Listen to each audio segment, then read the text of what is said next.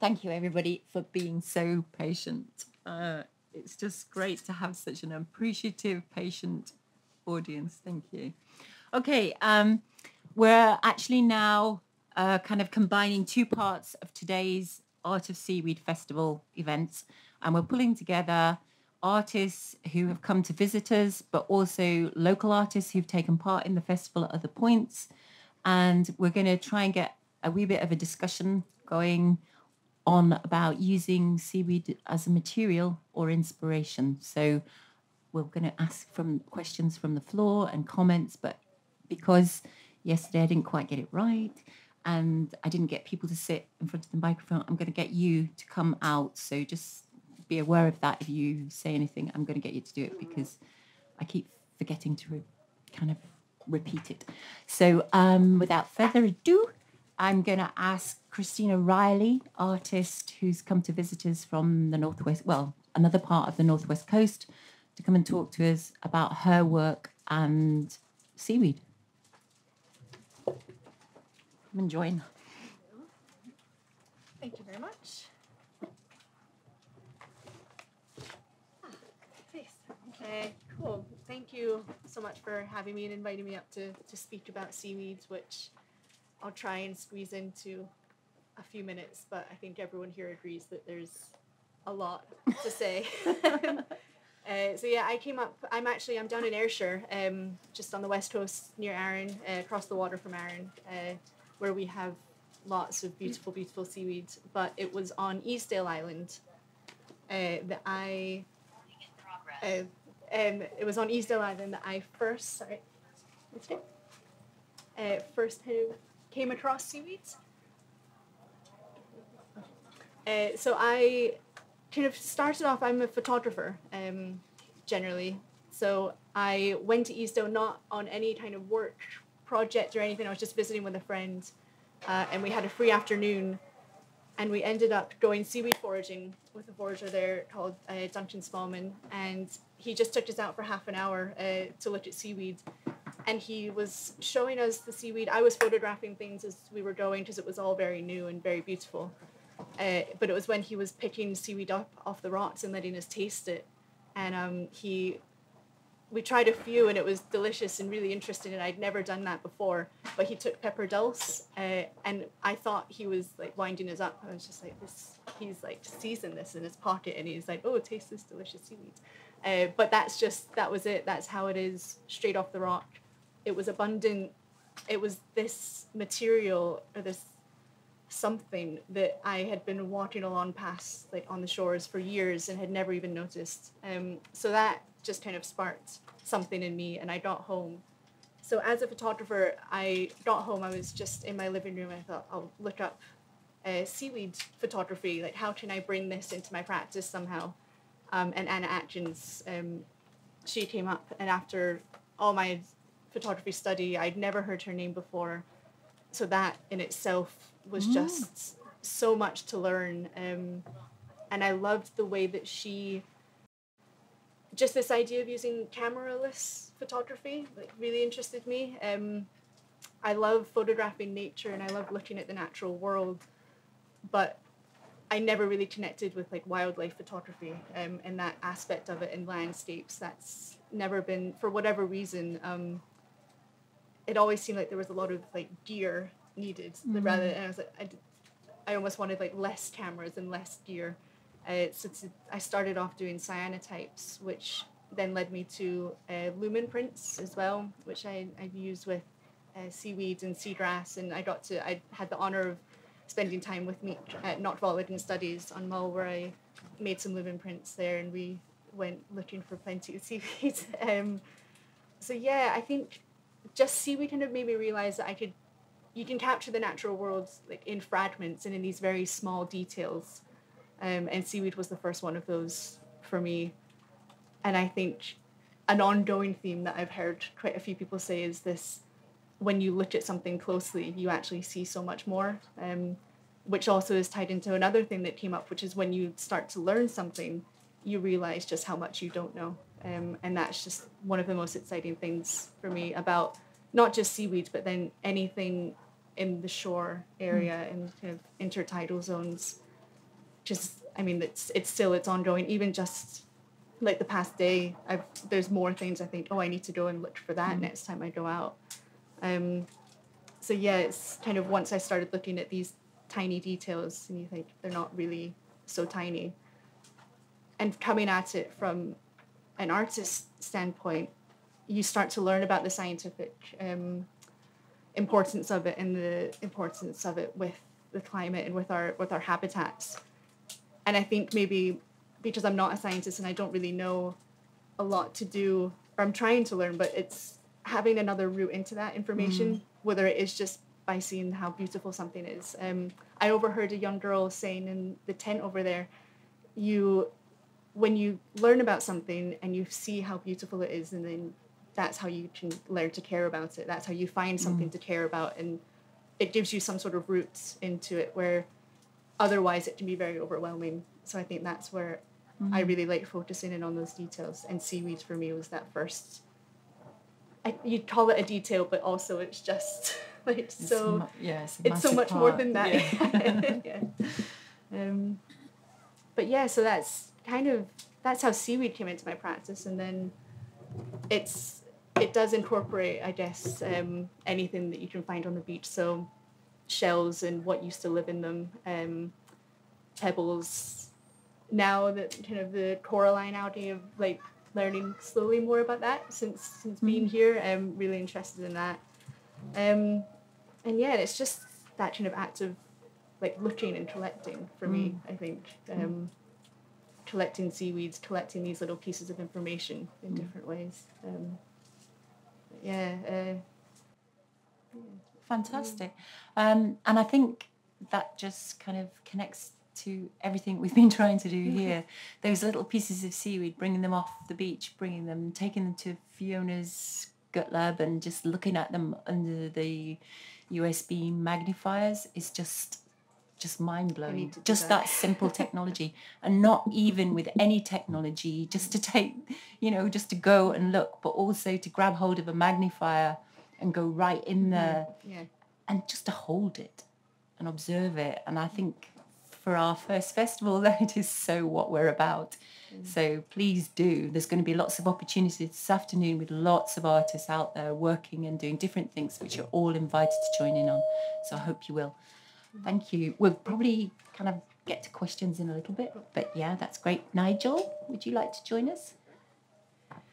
Nigel Goldie is an artist that lives and works um, in the Lochinver area, and he was is part of the we show we've got in um, Ullapool in the windows and An Talla Solais, and um, he his particular work is combining the pieces of dried kelp that we've got just about everywhere. and so he's just going to talk a little bit about that. Yep. So. Yep. Perhaps I can begin by illustrating something that I think, Mika, you were pointing to, and it comes out of the, the wonderful uh, story about the, the sailors and finding the serpent. This is one of the biggest problems I have with kelp. Just to illustrate, if you can see it, it looks just like a serpent, and it's wonderful in its own way. And I dare say people here have picked these up and wondered what what do you do with it, and maybe take it back and have it at home as a, as something that's kind of kind of interesting or quirky or or just. In, but it's, I mean, the problem in a way is it's kind of naturally sculptural. Now, I say it's a problem because it, it, it in one sense you may say, well, that's fine. That is, it, it's done it all for you. you have is there. But if you're trying to take something that you have found, as it were, in nature and turn it into something that you want it to, to, to embody that maybe the qualities of it, but not be simply reproducing it, um, you, it becomes somewhat problematic because it, it, it, it it's so much to say you could just leave it. And this, I think the same thing applies sometimes when you find a, a lovely piece of old a wood that's shaped in a certain way, and you put put it on your shelf, and it, and it seems like a natural piece of sculpture. Well, I, I think, and this isn't just a, don't just defend the interests of artists, but I think it doesn't become, you might say, sculpture unless you uh, it's, it, there's been an intervention into it that actually begins to transform it into being something different. So you see other qualities in it, or it represents, or it uh, raises ideas and images and so on. So all I'm just saying is that the one of the problems with, with kelp is that the, one of the other problems is, and I can give examples of this. The, the, the, these are bits of random bits of kelp I happen to have lying around, and what you find is that some are incredibly strong and incredibly rigid. Now just hand around two, two pieces, you pass them around. I, I wonder how many people have ever cut a piece of kelp, especially uh, one that's an old, you know, dried kelp. Mm. And you'll see it take the simplest way to cut it is to use the, the cutting disc on, on, on an angle grinder. Okay? You, you can do it with a hacksaw, but you've really got to work hard on it. you see, like, you know what it's like, don't you? And yet, a cutting, and, and that's, that shows you how strong it is. It, it, it feels like as strong as steel. And I'll just pass these, if you want to pass on, two, two little bits. I just, I should have, could have brought more, but I didn't have time. This morning I thought I should take something because it's easier to have something to, to, to look at. And that, that means you've got these remarkable qualities. On the one hand, it's got great strength, but it's also something that's very kind of flexible, as you can see with these. But above all, it, once you've made something, um, you think you're using it when it's it's strong, it's solid, and it might be, a, and then, you know, the weather changes as it does up here, and, and, and it's become humid or wet, it's draining. And what happens is, it's suddenly gone floppy. so it, it, literally, it, it, it changes. Now, and you can have kelp, when I've got kelp, which is now six, seven, eight years old, and it has still the qualities of something like wood. But if you're in the right or the wrong kind of climatic conditions, it will begin to change again. So it, it, I'm just mentioning this. It's a kind of interesting sort of what, what is it to work with it?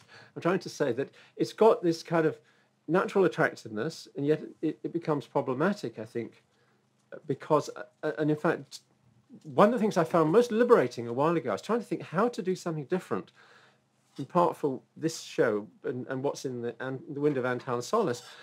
And I was struggling making, uh, I like con- to combine things, and the way I've been combining uh, elements of kelp is really to drill through it and then to li- literally joint it by using, working one bit of kelp into another, so you, it, it creates a different form.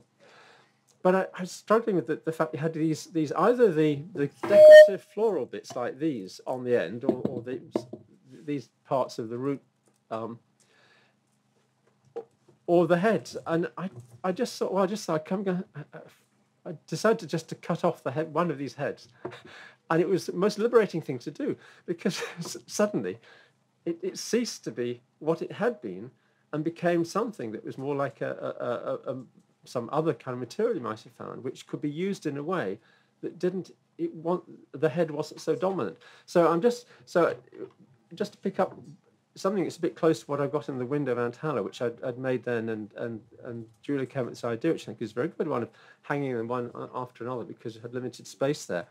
But it's just a very simple example of the kind of thing I like to be doing, and it's to take these different, picking up different elements, different pieces, or to cut pieces, and begin to see what can be done that makes something that is very simple, really. It's kind of interesting to look at but also, more importantly than that, it's when you kind of move it around and even better if you've got two pieces or three pieces and you can move them around and you can create almost an infinite number of different types of visual uh, so something I think is kind of visually interesting. It's not, it's hard work from where you are, but I can leave it around for anyone to play around with something like this. But it, it it's, it, I think kelp, because it almost the strength of its qualities that come out of the materials also lends itself to be, being something that you can use in a kind of um, sculptural way. Of, it's a particular type of sculpture. It's, it, it's about how you make, what the lines are, what the relationships are, what's happening within it in, in, a, in a very kind of minimalist, abstract way. So maybe I should stop there. That's, That's a- absolutely wonderful uh, to actually see it. And if you get chance if you actually get chance to get into Ullapool to have a look in the windows of the gallery, uh, there's a whole sequence of them suspended, um, and it's it's very very beautiful. And I actually love this one in particular because I've not seen it where you've combined the different colours of the, the different kelp. No, no. And I love that. And the simplicity of it, where it's just cut and joined and combined. And that anyone who's done 3D work and sculpture knows that it's the combination, it's the joints that really matter. And I think this is just great. I just love it. And yeah, it's a really hard material. Thank you very much. Right. Um, leave it there for a minute. yeah.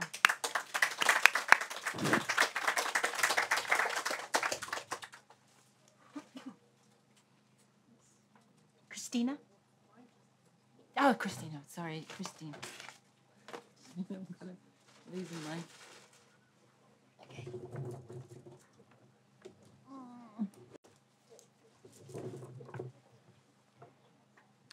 Um, Christine Riley. Justine. Oh, just sorry, sorry. I was just like, okay, I'm really losing it now. Okay, Justine Riley, um, Ritchie. Okay, cut. Christine Riley is one of our five artists in the gallery windows in Ullapool. And when I first, it was a really tight deadline when I asked people to kind of come forward to kind of be part of the show. And the fantastic thing about Justine is that she said that she was just beginning to get into cyanotypes and was inspired by Anna Atkins' work, which we've seen a lot of. And it was just like, it was great, perfect timing, wasn't it? And I just felt, oh, how exciting that um, that you're beginning this and we're beginning this festival, and it would be really great for you to be part of it. So thank you for joining us.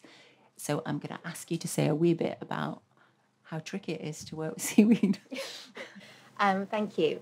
Um, yes, so I first started dabbling in cyanotypes. I'm also a photographer. Um, and I was living on the Isle of Eigg at the time, so it was beginning of lockdown number one that I discovered the work of Anna Atkins. And living on an island that's only three miles by five miles, every walk you end up on the shore pretty much. Um, and so having photographed every corner of the island from every angle um, and viewpoint and in every weather, I then decided to start looking at um, experimenting with cyanotypes. So while I was on the Isle of Eigg, again, I was just picking up various bits of flora um, and then um, starting to work with seaweed as well. Um, and seaweed is, is very different different because it's obviously wet and then it dries out. Um, and I've then moved to um, Ullapool and started looking around the shores of Loch Broom and discovering all the different seaweeds there and experimenting a bit more with the cyanotype process, which involves basically coating a piece of watercolor paper um, or similar paper with a light sensitive emulsion and then putting your bit of seaweed or whatever found flora on top of it and then exposing it to sunlight. So it's a very simple form of cameraless photography. And although it's simple, it's incredibly transformative.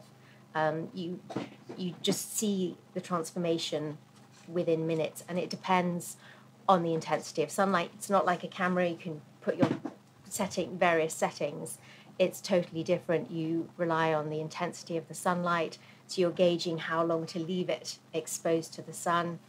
Um, and you can also um, do create wet cyanotypes, which is what I like to do, to create a, a bit more of um, a sense of movement and motion and atmosphere to the print. And this can be um, by spraying the paper with, um, I use often seawater, um, or you can even put sea foam on top of it mm-hmm. and create um, an imprint. So I've got an example here. This is this is actually a reject of one that I've done with um, some seaweed, which I'm not even sure what type of seaweed it is, but um, as you can see there. And that was a wet cyanotype. And with the seaweed, it can also um, bleed into the the, the, the paper and the chemicals. Mm. So it's got a little bit of brown tinging yeah, yeah. going on there, which I presume is from the iodine for, or um, and also the salt. So again, you don't know what you're going to the print is going to turn out like until you then fix it. So you bring it in from the sunlight and then you just use water to fix it. So you rinse it for about five minutes um, in the water and um, out and then leave it to dry. And again, that 48 hours of drying, again, the colours um, and the textures change. Um, so I'm now totally obsessed with seaweed. My garden fence is strung with different varieties. Every time I go for a wild swim in the loch, I come out with another different bit, or I'm my my entry to the water is staggered because I'm discovering bits of seaweed along the way. Um, and um, so, yes, uh, uh, my next, um, I think this is going to be an ongoing project with seaweed. Um, and I think the next thing is to move into anthotypes, which again is using a light sensitive emulsion, but made totally from, so it's not chemicals, it's made totally from crushed plant material.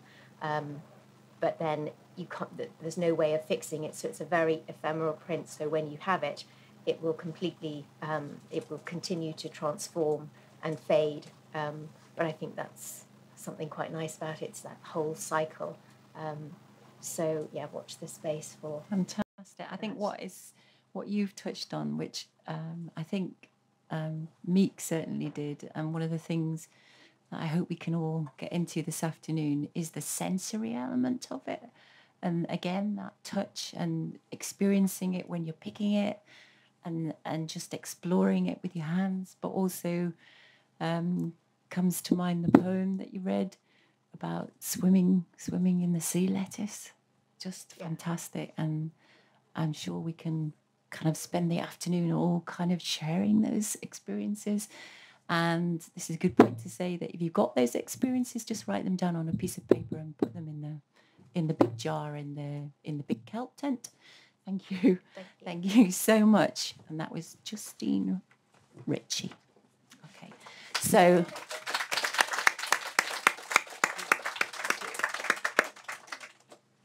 Thank you very much. That was wonderful. Um, Fionn, would you like to say a few words? This is a very last minute request I had. I've been making last minute requests around in the room for people to come and join me.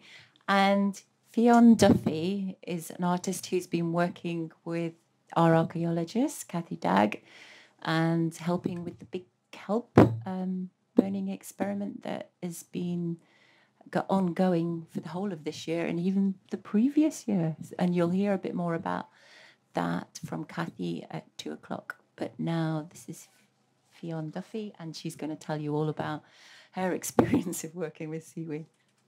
Hi there. Um, yeah, I don't have anything to show you, but my part or my interest in the seaweed experiment is uh, making glass out of it. So I don't know if you know, glass is made from, or soda lime glass, which is like the softest kind of glass that is most things are made from. Uh, is made from soda ash, which comes from burning the seaweed, uh, silica, which is uh, sand, and lime, which you can make from crushed seashells. Um, if you burn it, you make a quicklime, which then you can use to make glass. And I don't really know how much to talk about it because Kathy's talk, I'm sure, is going to go into a lot of depth about the kelping industry. But that was kind of my entry point into working with seaweed. Um, I was interested in making glass from scratch because it's such a ubiquitous material. It's around us all the time. We use it every day. But it's a very industrial process um, using lots of chemicals and it feels very far away from the day-to-day experience mm. that we have. And i learned about the kelping industry which is where uh, people were burning mostly wrack um, at this point to make this, this soda ash to then be sent to industrial centres like liverpool um, or like around edinburgh to make glass. And that was happening around the 18th century um, I'm like, what else should I say? I, know, I was just, I was, I was just thinking, the the thing that, for me, I think it would be lovely for you to share is, what a mucky job it is. Yeah. Yeah, it's a very long process from beginning to end, and you do get very wet and very dirty. Um, Kathy again will talk about the like the amount of seaweed that you need Mm. to get ash from it because most of it burns away or turns into carbon. Um, so me and my mum, who's also here and's been helping me a lot, uh, have been out gathering just buckets and buckets, like, and I mean bin buckets like this size uh, of wet seaweed, drying it out in out the back of the house. Uh, I, I should have, if I'd known, I would have brought photos. I know, I know. And so But there is a few. So on the Instagram account, there is um, a bit of a record of yourself and a few of us in May collecting it when I was turning it over over at Old Dornie. And we'll put some more images up of Kathy's on the site because I think it would be really great to share that whole process. Um, do you want to say something about the weight of all that volume of seaweed? Uh, so you have that volume of seaweed wet, and then you leave it out to dry. You get about half of that, and then once you've burned it, um, in each of our burns we've got about this much ash. so it is. It is yeah, incredible, It's isn't it? So from a dumpy bag to that much, if you're lucky. yeah, and to make the glass, I need about fifteen kilos of the ash. So, so far I have maybe between between ten and twelve, probably with what we got from the one on Friday. Wow. Um, but that's been us. We've done two burns in that kiln, in that kiln, and I've done two or three at the house as well. Um, and each time with around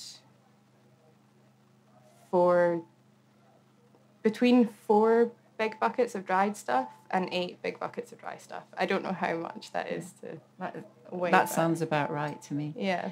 So is this a request for kind of more collectors to get to your I mean- 15k? if anyone wants to give me some dry seaweed, Yeah. I'll be happy to take it. Um, but I will be making the glass in November, so it's got to be in the next couple of months. That's great. Um, so what form do you think it will be in the glass? Um, oh. Well, that's that'll depend on how the glass uh, behaves. Okay. So, because, uh, like you see people working with glass, like blowing glass and stuff, it's got a lot of extra chemicals to make sure that it's um, it's not going to crack so easily, or you can heat it up or cool it down quickly or faster than um, if you're making it from raw materials. So it's really it's a huge experiment. Um, I want to make a series of glass beads hmm because I've had a lot of help with different parts of the project, um, not just the kelping part, but um, like talking to people about the geology and the way that sand forms, like stone, things like that. Um, so I'd love to make beads to then be able to like uh, give them to everyone that's helped me. So it's a kind of distributed piece of artwork. Uh, but I don't know if that'll be possible because uh, when you every time you heat up glass, you weaken it, or every time you cool down glass, you weaken it. It's easy to heat up, but harder to cool down. And to make beads, you need to do lamp work, which is where you have a flame and then heat up a rod of glass on the flame. So I would need to make a rod first and then Oh, so there's two. Cool it down once and then heat it up yeah, again. yeah. so I don't know how much that's got to do No, with seaweed. No, no, it has But, because it's uh, the ingredient, isn't it? It's one of the ingredients. But yeah. that's brilliant.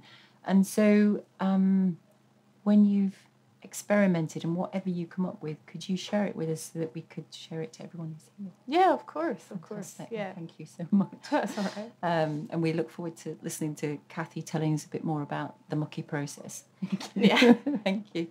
Um, okay, our final artist who's going to be talking this, this just now. Let me get the name right. David Faithfull.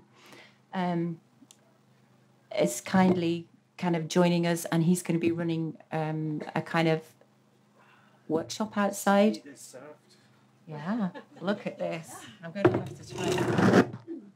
It's the gloopy mixtures that he's been making, and he'll tell you all about it. But this is taking seaweed even to a, a new level. no, let's take all the artwork.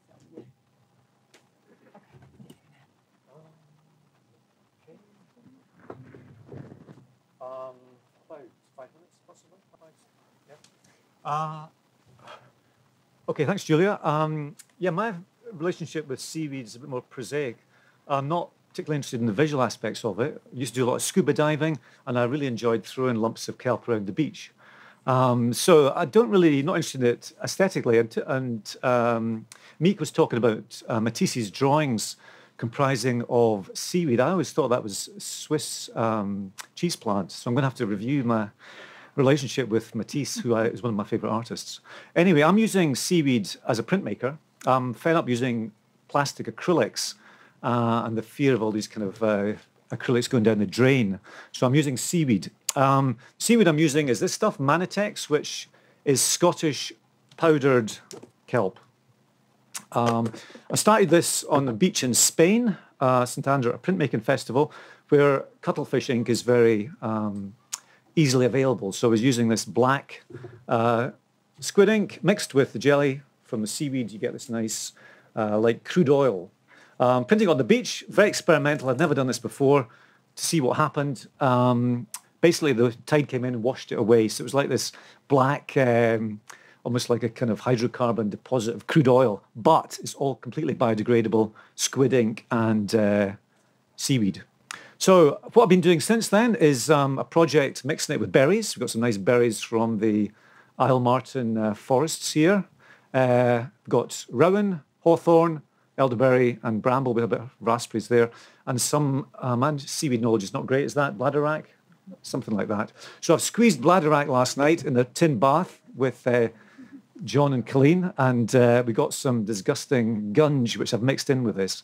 So it's very experimental. I'm using it possibly as an alternative at one at some point into the studio where you actually use it instead of acrylic mediums, which does interest me a lot. But what we're going to do today um, is I've got some drawings that Julia got uh, from local school kids. That's uh, Seaweed Heart. That's some uh, laminaria, I think. Uh, not sure what that one is. Spaghetti, and we've got a nice fish there. Okay. So what I've done is basically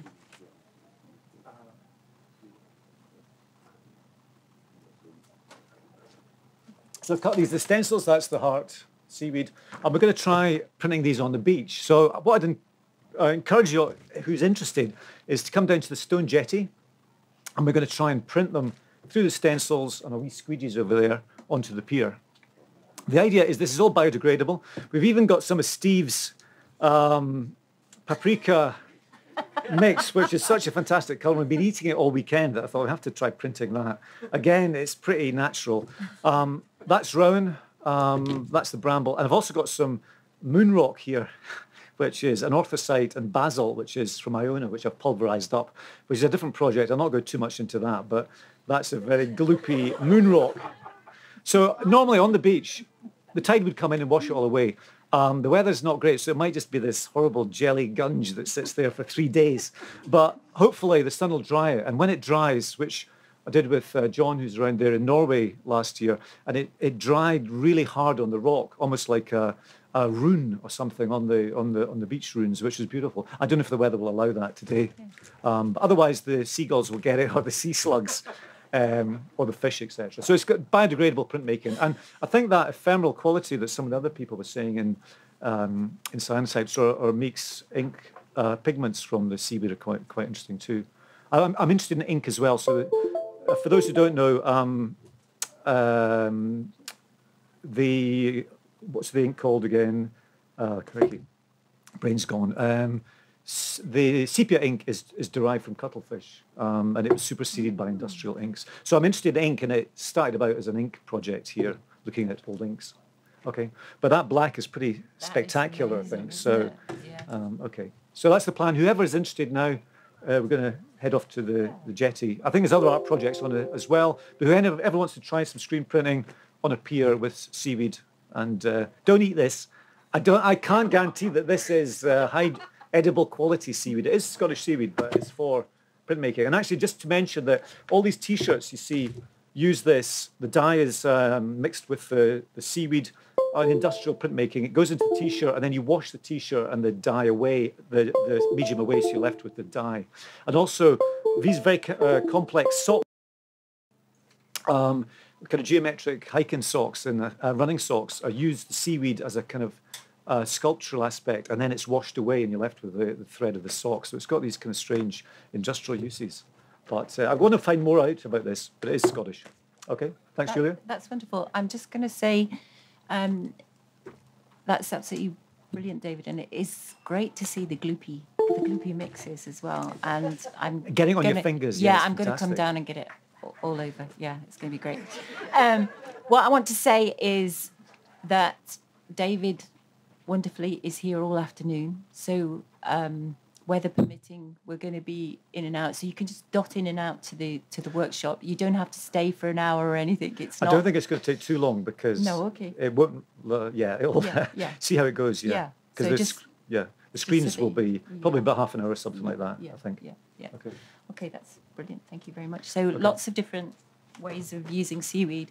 Um, just to finish up today, I'm sorry anybody online, we're not going to have time for questions, but if you want to write them into us, we'll kind of try and answer. Uh, answer.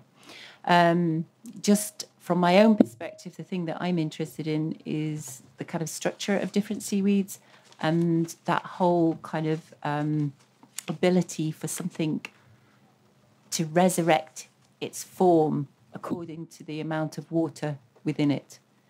Years ago, I worked with a fern called poly, um, Polypodium in America, and in it used to dry out and it looked dead for kind of just six months of the year. Then the rains would come and it would come out and it would be grow and grow again and it'd be green, and the whole process would start. What is amazing to me now is to come back to the seaweed and find that out and certainly the channel wrack is one of those that just really inspires me the fact that it can look as dead as anything because it's in the splash zone and it's out of the water for so so long.